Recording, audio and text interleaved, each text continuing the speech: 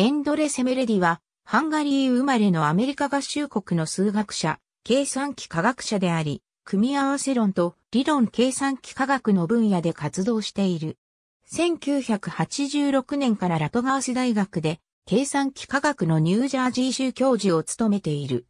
ハンガリー科学アカデミーのアルフレード・レーニ数学研究所の名誉教授でもある。セメレディは2012年のアーベル賞を含む数学と科学における多数の賞を受賞している。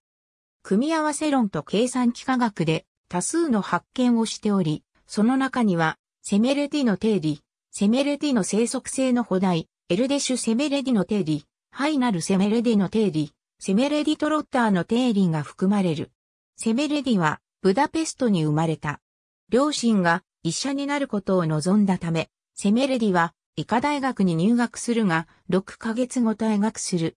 セメレディはブダペストのエトベシュロラーンド大学で学び、モスクワ大学から博士号を得た。指導教官はイズライル・ゲルファントだった。これは語字に由来するというのもセメレディは本来アレキサンダー・ゲルフォントと研究したかったからである。セメレディは1986年からラトガース大学で計算機科学のニュージャージー州教授を務めている。1974年スタンフォード大学の1980年マディール大学の1981年から1983年までサウスカロライナ大学の、そして1985年から1986年までシカゴ大学の訪問研究者の立場にあった。セメレディは理算数学、理論計算機科学、数論的組み合わせ論、理算機科学の分野で200を超える科学論文を発表した。ポール・エルデシュとドラーン・パールによる古い予想の1975年からの証明によってセメレディはよく知られている。その予想とは、もし自然数の列が正の上限密度を持てば、それは任意の長さの等差数列を含むだろう、というものである。これは現在セメレディの定理として知られている。証明の中で導入された補題の一つは、セメレディの正則性の補題として知られている。それは、組み合わせ論における重要な補題となり、例えばグラフに対する特性試験やグラフォンの理論で使用されている。セメレディはまた接続幾何学におけるセメレディトロッターの定理やグラフ理論におけるハイナルセメレディの定理とルザセメレディ問題により知られている。ミクローシュアイタイとセメレディはコーナーズ定理を証明し、セメレディの定理の高次元一般化への重要なステップとなった。アイタイとヤーノシュコムロスと共同で、セメレディはラムゼー数 R に対するカラットにログ T 上限を証明し、最適深さのソーティングネットワークを構築した。アイタイとバーツラフ・フバータル、モンティ・ニューボーンと共同で、セメレディは有名なクロッシング補題を証明した。その内容は M4N を満たす N 頂点と M 辺を持つグラフは少なくとも M3、64N にクロッシングを持つというものである。ポール・エルデシュと共同で、セメレディは有限集合における和と積の数に関するエルデシュ・セメレディの定理を証明した。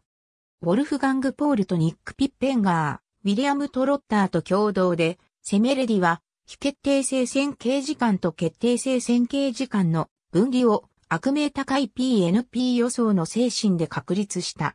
セメレディは数学と計算機科学への貢献により数多くの賞と名誉を得た。そのうちのいくつかは以下の通りである。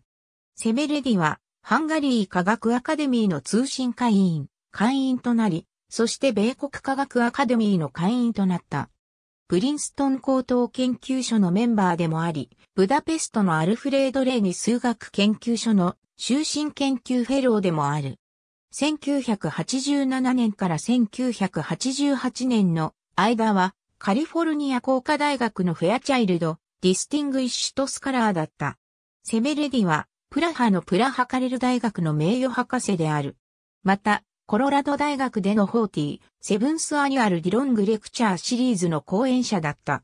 セメレディは、モントリオール大学の CRM のアゼンシュタット、チェアーも務めている。2008年、バークレーのメスリーのアイゼンバドプロフェッサーだった。